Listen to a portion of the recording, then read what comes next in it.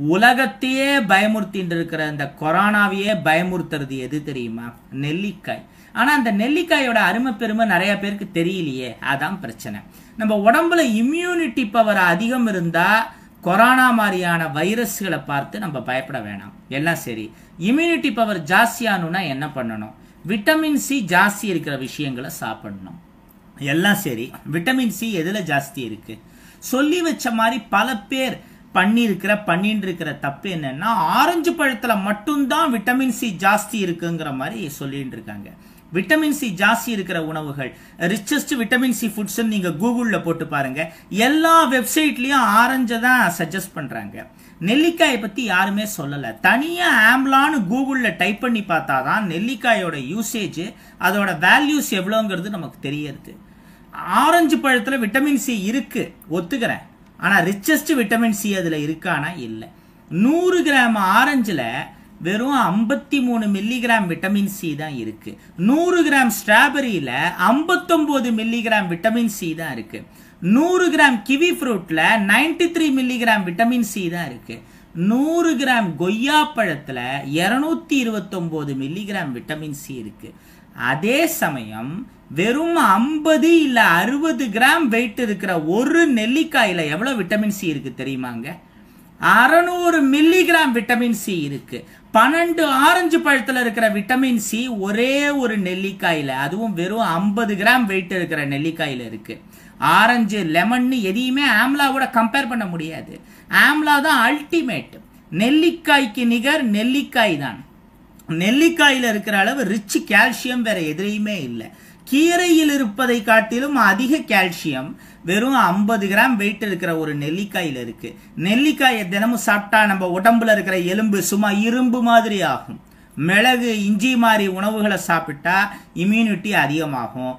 ஆனால் கர்ப்பிணி பெண்கள் மிளகு இஞ்சி எல்லாம் சாப்பிடக்கூடாது. சாப்பிட்டா கருவில் இருக்கிற குழந்தைய பாதிக்கும். அல்சர் இருக்கிறவங்களும் இந்த மிளகு இஞ்சியெல்லாம் அதிகம் சாப்பிட முடியாது. ஆனால் நெல்லிக்காயை கர்ப்பிணி பெண்கள் முதல் இந்த அல்சர் பிரச்சனை இருக்கிறவங்க அசிடிட்டி பிரச்சனை இருக்கிறவங்க வரை எல்லாரும் சாப்பிடலாம். பிரசவ வலியை தாங்கக்கூடிய சக்தியை கர்ப்பிணி பெண்களுக்கு நெல்லிக்காய் தரும். அல்சர் அசிடிட்டி போன்ற பல நோய்களையும் நெல்லிக்காய் குணமாக்கும்.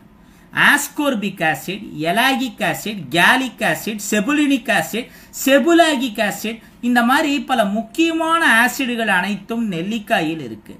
முக்கியமாக நெல்லிக்காயில் உள்ள chebulinic acid C H E B U N I C chebulinic acid நம்ம உடம்புல இருக்கிற டாக்ஸின்ஸை அதாவது நச்சுத்தன்மையை நீக்கும். அனைத்து விதமான கெட்ட பாக்டீரியா வைரஸ்களையும் அழிப்பதில் செபுலினிக் ஆசிடுக்கு நிகர் செபுலினிக் ஆசிடு தான்.